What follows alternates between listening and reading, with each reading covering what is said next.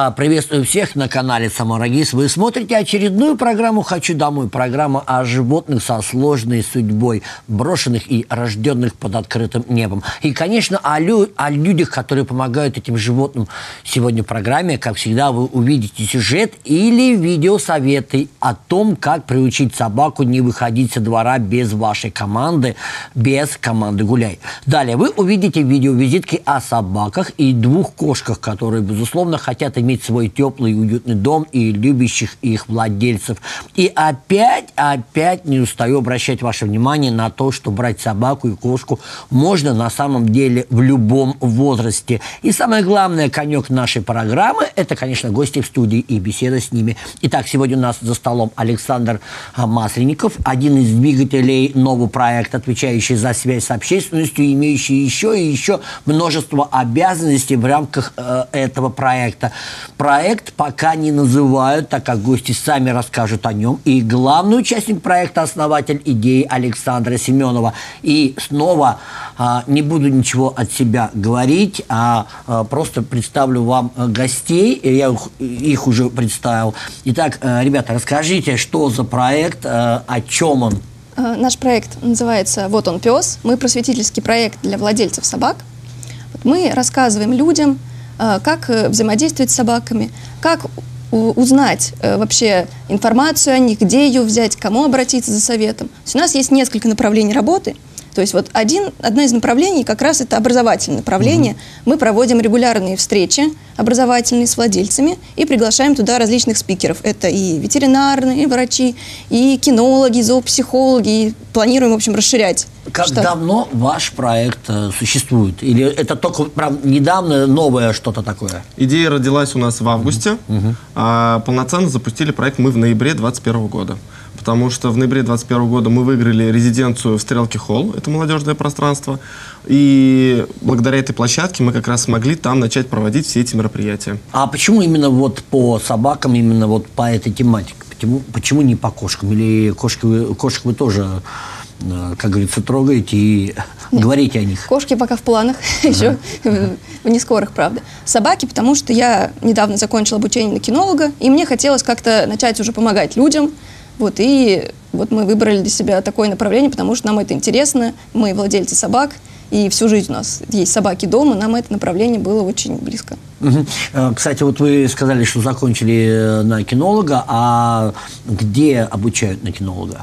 Ну, сейчас много мест, где можно обучиться. Я выбрала образование, э, это Новосибирский центр, мы проходили теорию э, удаленно, там, чтобы можно было привлечь довольно именитых специалистов вот, и охватить как бы вот, э, большие пространства, вот выбрали онлайн-формат. А практику я проходила в городе у нас с нашим местным тренером-кинологом. Угу, понятно.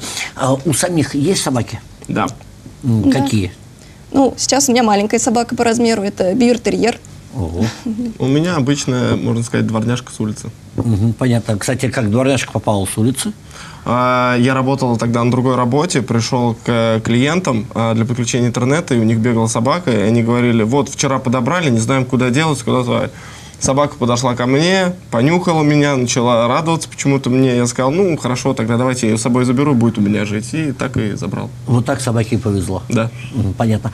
А, скажите, э, вот э, сама идея этого проекта, откуда она родилась? На самом деле все родилось с того момента, когда Александра начала учиться на кинолога, а, и когда мы с ней встретились, она рассказала, что вот большая проблема, я столкнулся с тем, что непонятно, куда обращаться, непонятно, какие направления. Все как-то очень расплывчато, размыто, нужно долго сидеть по интернету. И, ну, в общем, много вопросов создаются по э, ходу ее обучения. И тогда мне пришла мысль в голову о том, что, слушай, а если попробовать самим изучить каждое направление, находить специалистов по городу, э, изучать их, приглашать, и тем самым создавать вот эту общую базу, где в одном пространстве, грубо говоря, допустим, наша социальная сеть, человек может зайти и узнать, ага, вот туда я могу сходить uh-huh. с собакой, uh-huh. ага, вот здесь я могу бесплатно поучиться, ага, вот сюда к кинологу я могу сходить для таких-то упражнений, здесь я могу фрисби позаниматься, док, здесь отжилить и так далее. И как только мы поняли, что да, вот такой базы по Самаре нет, угу. мы вот решили, что давай тогда ее сами создадим.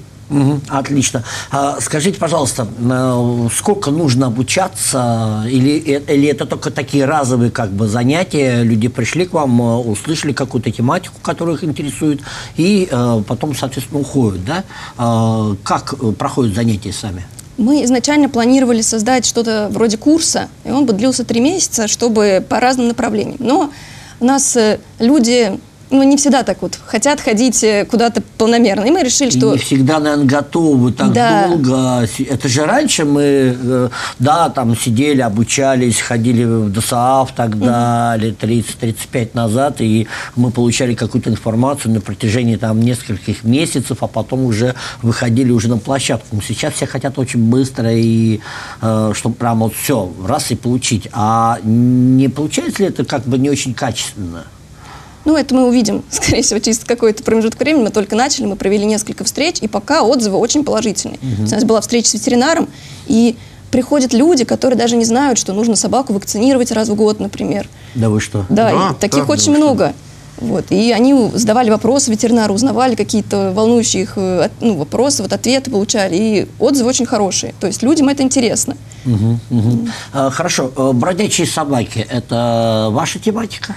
В том числе именно те, которые уже находятся в приюте. Мы сотрудничаем с приютом э, «Флагман Вет». Угу. А наше непосредственное взаимодействие заключается в том, что мы производим выгул собак, угу. с которыми на первом этапе не могут э, не то что справиться, нельзя по технике безопасности выходить обычному э, добровольцу. Человеку, да? Да, да, да. да, угу. Мы приходим в приют, сначала начинаем работать с такой собакой. Понятное дело, что в условиях приюта мы не можем там э, какие-то прям чтобы там собака... Там сразу пошла сдавать какой-то норматив дрессировки. Да, ну, да, потому да, что ну, это... понятно. А вот скажите, вот э, э, человек, который пришел, и вы занимаетесь именно с той собакой, которую он хочет взять, или любую собаку может взять? В основном как раз проблем, э, не проблемная собака, а собака. Вот, допустим, сейчас угу. э, мне э, попросили заняться подопечным. Это очень крупный пес весом 60 килограмм. Он пробыл два месяца в закрытом помещении, потому что у него был аппарат Елизарова. То есть угу, его устанавливали ему лапу. Собака молодая, большая и плюс еще имеет зооагрессию, то есть на других вот собак. Так. Если с такой собакой сейчас выйдет волонтер, то угу. велика вероятность, что он не выдержит, не удержит или еще что-то. Может произойти какая-то ситуация.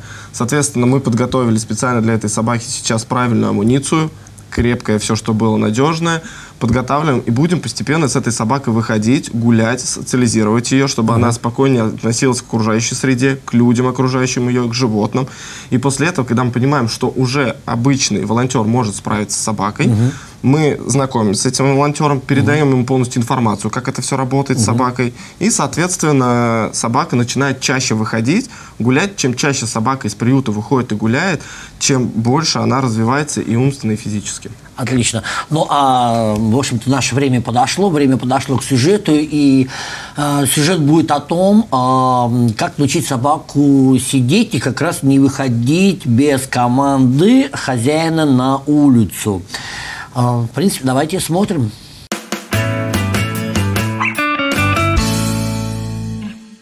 Завели собаку, значит, взяли на себя ответственность. А это не только кормить, поить и вовремя выгуливать. Нужно, чтобы собака была и социально безопасной для окружающих. А для этого есть курсы по воспитанию и дрессировке собак. И в этом курсе есть немало команд, необходимых для бытового управления. Например, рядом ко мне нельзя и сидеть на месте в ожидании дальнейших команд владельца. Этот рефлекс очень необходим в бытовом применении. С помощью этого навыка можно научить собаку не выходить за пределы квартиры или двора, пока не дадут команду гулять. Выгул должен быть все-таки под присмотром хозяина. Белла, гулять. Молодец, гулять. Иди, иди, гуляй, гуляй. Гуляй, гуляй, гуляй. Иди, гуляй. Ага.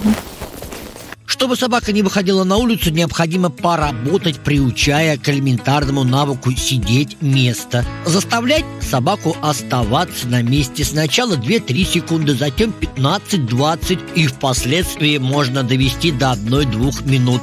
А в целом лучше пройти весь комплекс послушания под руководством инструктора. Ну и главное, конечно, то, что это не одно занятие, это период времени, то есть это 2-3 месяца лучше, но за одно занятие, конечно, у вас успеха не будет, то есть это нужно время.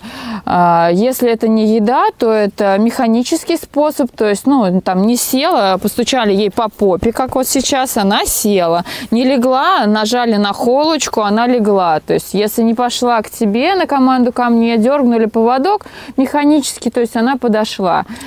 Вот. Ну и, конечно же, это главное, хороший тренер, хороший э, человек, который а, именно будет а, идти хорошо на контакт с вашей собакой, которого она будет нормально воспринимать, и, соответственно, вы сможете ему довериться. И она, в первую очередь, сможет к нему подойти и довериться. Дрессировка поможет вашей собаке быть послушной и очень важно. Пес не будет нервировать вас своими поступками. И, конечно, все упражнения необходимо периодически повторять, в том числе и место сидеть перед открытой дверью или калиткой на улицу. Главное, чтобы в дальнейшем этот навык не оставался как показательный номер для соседей, а применялся в повседневной жизни. И неважно, какой собакой это будет исполняться породистой или метисом. Нужно не бояться брать собаку с улицы, потому что это животное, оно довольно-таки доброе, но его нужно приучить. Во все нужно вложить свои силы, во все нужно приложить э, свой труд. А Не будет, что вот вы взяли, и она сразу вам села, легла э, на место. Если вы, конечно, будете ее там э, пинать, шугать, толку не будет. Надо опытного специалиста, который вам подскажет, как это правильно сделать, чтобы не нанести собаке травму психологическую. В целом для домашне-дворового послушания вполне пойдет команда «Ко мне сидеть место» или «Иди на место». Все это отрабатывается от простого элемента, переходя к сложному. Самое главное – ваше терпение.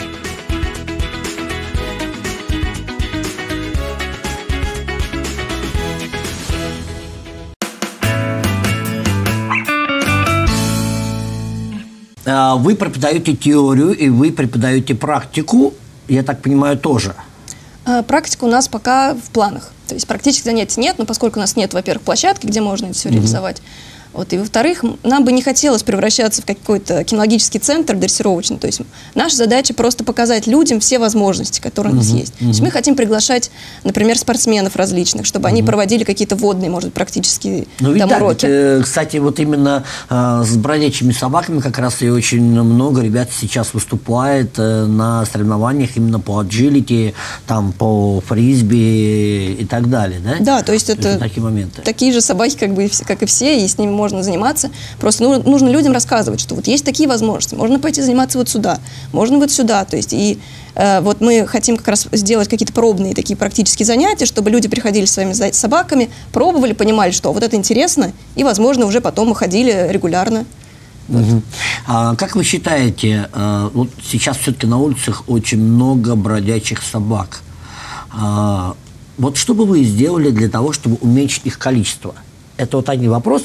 И второй вопрос, ну давайте сначала вот на этот ответим, а потом я уже очень интересно, что вы ответите по этому вопросу. Ну, Давайте вот с первого начнем. Ну, вообще проблема бродячих собак – это очень сложная проблема, ее нельзя вот так вот взять и решить там за короткий промежуток времени. А, Мы для себя выбрали вот направление, вот такое решение проблемы, что это просвещение владельцев. Потому что очень часто собаки оказываются на улице из-за того, что владельцы не знают, как побороть ту или иную проблему, например, и проще им собаку выкинуть, чем с ней заниматься. Или, например, собаки убегают, потому что опять владельцы там не знают, что там ну, есть адресники, где пишешь телефон, что там может, нужно выгуливать собаку на поводке. И вот если заняться вот этой областью, то, возможно, там больше станет осознанных владельцев и меньше собак будет попадать на улицу. А, Первые занятия, которые у вас прошли, а, кто больше приходил? Молодые, среднего возраста люди или и пожилые тоже? Ведь я, насколько сейчас понимаю, очень много вот именно таких бродячих собак и бездомных, и из приютов берут люди, которым, ну, наверное, уже за 50, за 60.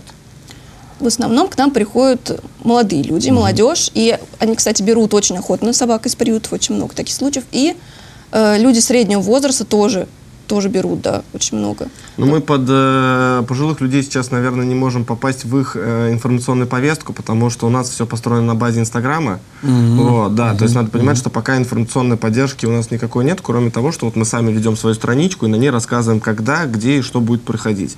Поэтому, возможно, это с этим связано, потому что есть люди, у которых просто могут не быть этих социальных сетей, и ну, в дальнейшем надо будет нам продумывать, как, соответственно, информировать большее количество людей о таких мероприятиях. Ну, может быть, там, допустим, объявления на э, домах, э, ТОС, том числе, э, использовать, э, привлекать именно активно э, какие-то районные э, значит, органы самоуправления, я так понимаю, да? Можно Да, тоже кстати, как вариант. Хорошая идея. Ну, вот, отлично, молодцы. Э, Хорошо, скажите, вам лично какие собаки больше импонируют? Большие, маленькие, породистые или беспородные?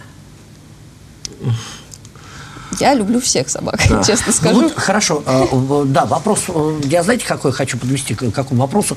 Э, Люди, вот сейчас очень много рекламы, реклама о том, что, да, берут беспородных, берите беспородных собак, берите из приютов и так далее, приют действительно переполнены. А вот скажите, все-таки, а что делать с породными собаками? Ну, мне кажется, породное собаководство не должно страдать. И если человек хочет взять породистую собаку, он должен иметь возможность взять породистую собаку. Если он хочет взять собаку из приюта, пожалуйста. То есть у него, у людей должен быть выбор. Потому что ну, у всех разные какие-то предпочтения. Нужно понимать, что и у тех, и у других есть свои как бы, плюсы и минусы. Нужно просто грамотно подходить к этому вопросу. Породистые же тоже как бы открывают определенные двери, с которыми нельзя открыть с беспородистыми. Например, кто-то хочет выступать на выставках, правильно? Мгм, Это да. только с породистыми, с документами, со всеми делами. Вот. Люди, которым нравится, например, заниматься грумингом, грубо говоря, когда, да, там э, шерсть приводит в идеальное состояние и так далее. Понятное дело, что это и с бездомными, и беспородистыми собаками можно делать. Но это тоже целое направление, вида искусств, так сказать, для некоторых людей. Поэтому и то, и то направление важно.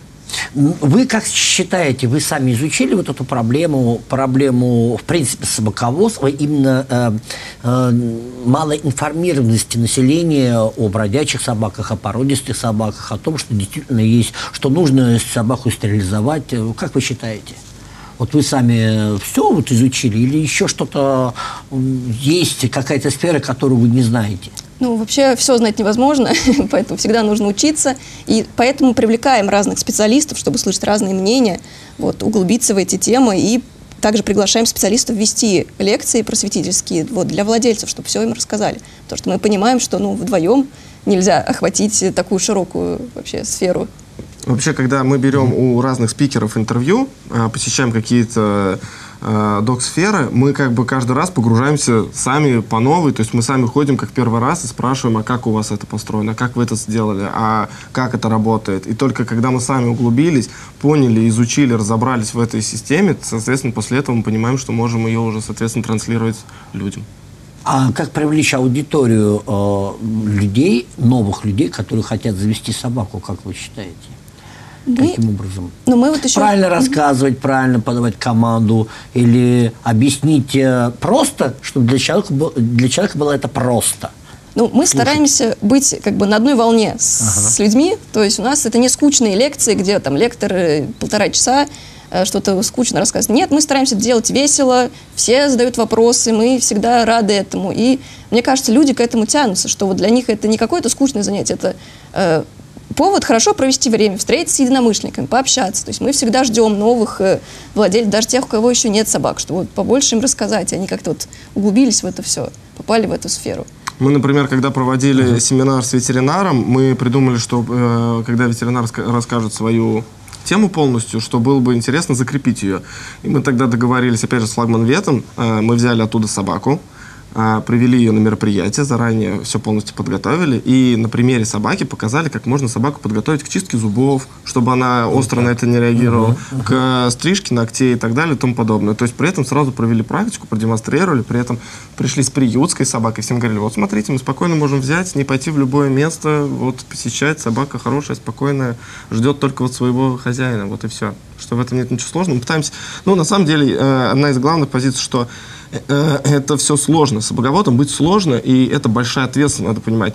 Но при этом не надо, наверное, слишком сильно перегибать палку. Есть определенные моменты, которые, наоборот, надо упрощать и спокойнее относиться к э, разным аспектам. Этого не надо бояться. И как бы есть люди, Да. у которых можно спросить совета, кому можно обратиться. И у нас как бы много специалистов в Самаре, кому можно вот подойти и как-то про свою проблему поговорить, что не нужно бояться, но нужно ответственно подходить к этому. И снова время, время видеовизиток. Обращаю ваше внимание, что все собаки, о которых мы рассказываем, готовы уйти из приюта или от волонтеров прямо сейчас. И прежде чем мы э, снимаем о них информацию, мы, конечно, проверяем их поведение на социальную безопасность. Э, смотрим видеовизитки. Любителям черных котов, торопитесь забрать вот этого классного кота по кличке Локи. Добрый, ласковый и, самое главное, коммуникабельный. Сейчас ему примерно 6 месяцев привезли в приют кота-кафе перед Новым годом. Очень важная информация. Приучен к лотку, не привередлив к еде. Обратите внимание на этого черного красивого кота. Кот Локи ждет своего нового хозяина. Звоните по телефону 8 927 701 36 38.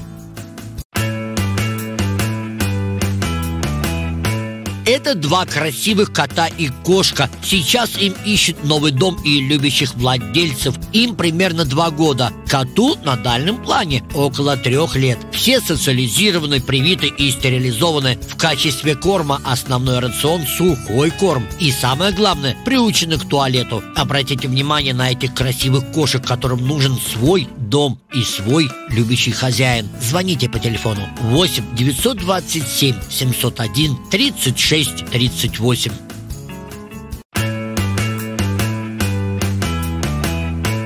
Екатерина Киселева волонтером стала совершенно случайно. Подобрала одного щенка, удалось пристроить, потом второго. Тоже нашли ему дом. В прошлом году нашли восемь щенков в коробке на дачном массиве. Из них шесть удалось пристроить и осталось два. Ну, сейчас тут пристраиваем их, находим дом. Ну, мы ее уже раз пристроили, но, к сожалению, хозяева оказались жестокими, пришлось забрать. Вот сейчас пристраиваем заново. Обратите внимание на этого щенка. Ему ищут хозяина и новый дом. Назвали щенка Эйли. Сейчас ей около пяти месяцев. Ласковая, добрая, очень ласковая даже, сверхласковая.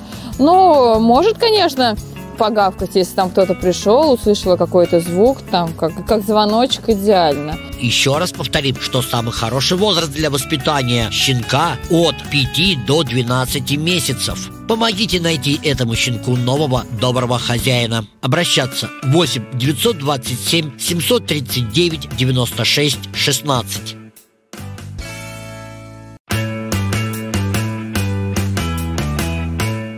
Этому очаровательному веслоухому щенку тоже примерно пять месяцев. Нашли его в коробке среди десяти других братьев и сестер на улице Старозагора в Самаре. Сейчас ему ищет новый дом и, конечно, доброго хозяина. Он у нас посерьезнее парень, он у нас говкучий такой довольно-таки. Вот. Ну, ласковый тоже играется, в принципе, со всеми на контакт идет хорошо. А, в еде не привередлив, он ест абсолютно все. Ну, корм он, конечно, естественно, питается кормом, ну и от сметанки с творожком он не отказывается. Щенок не конфликтный, со своими собратьями живет мирно. Самое главное, приучен к туалету на улице. Помогите найти этому щенку своего постоянного доброго хозяина. Звоните по телефону 8 927 739 96 16.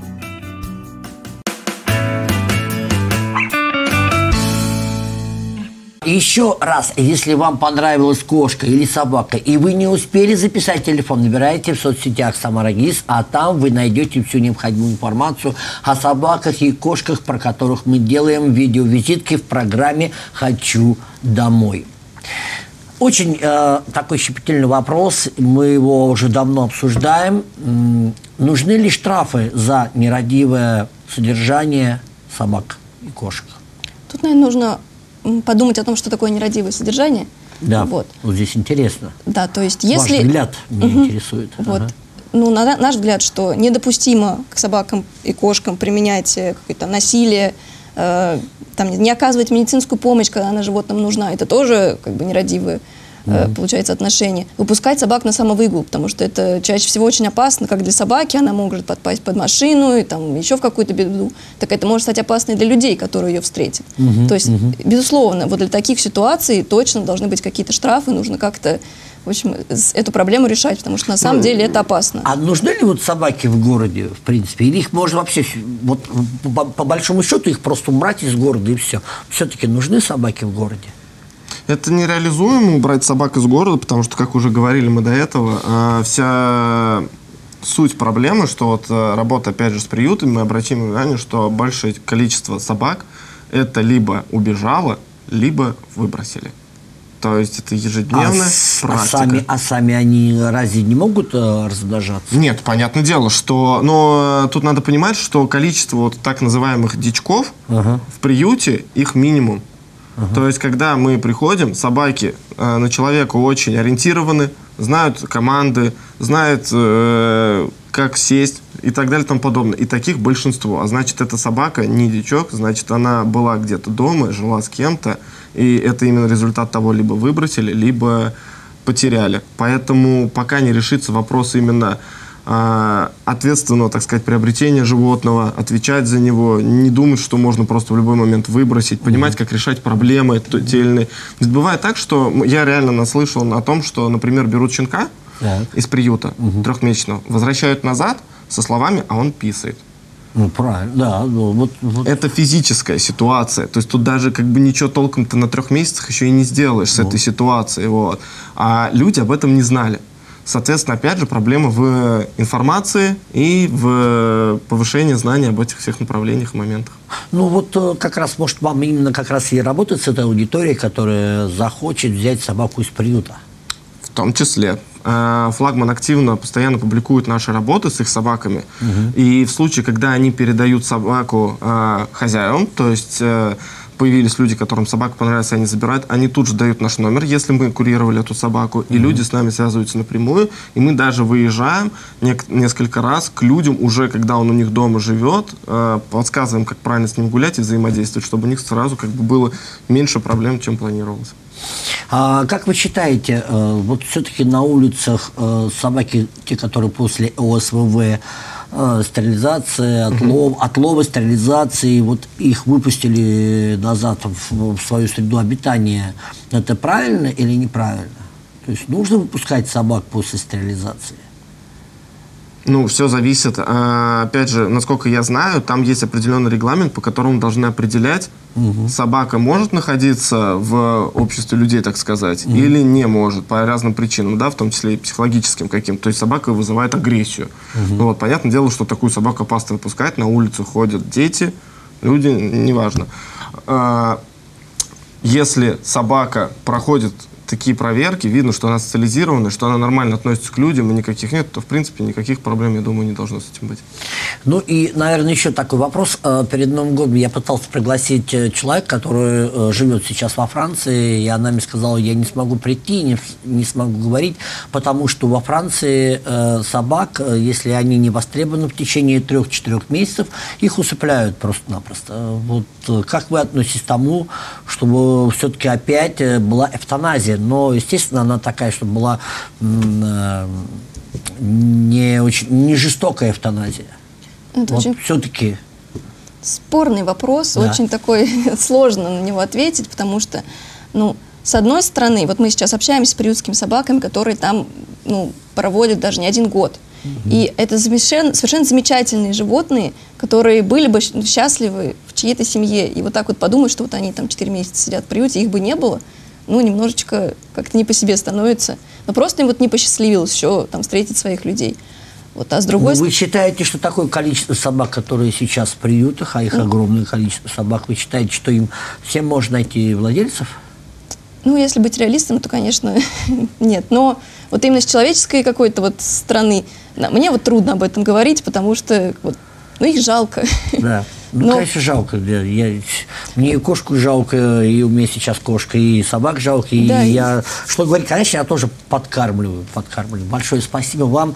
Очень была интересная, содержательная беседа. Ну, а время нашей программы завершилось, и снова встретимся с вами через две недели. И еще раз напомню, что информацию по видеовизиткам вы сможете снова посмотреть а, в наших повторах и на сайте телеканала «Самарагис». И прежде чем взять собаку, все-таки подумайте вопрос. Конечно, советую, продумайте этот вопрос, да, и советую, конечно, обратиться к специалистам, а, кинологам по воспитанию, адаптацию взятых из приютов собак. И, конечно, вот э, к ребятам, которые сейчас ведут этот проект, э, проект под названием «Вот он, пес». До свидания, всего вам доброго, до встречи в эфире.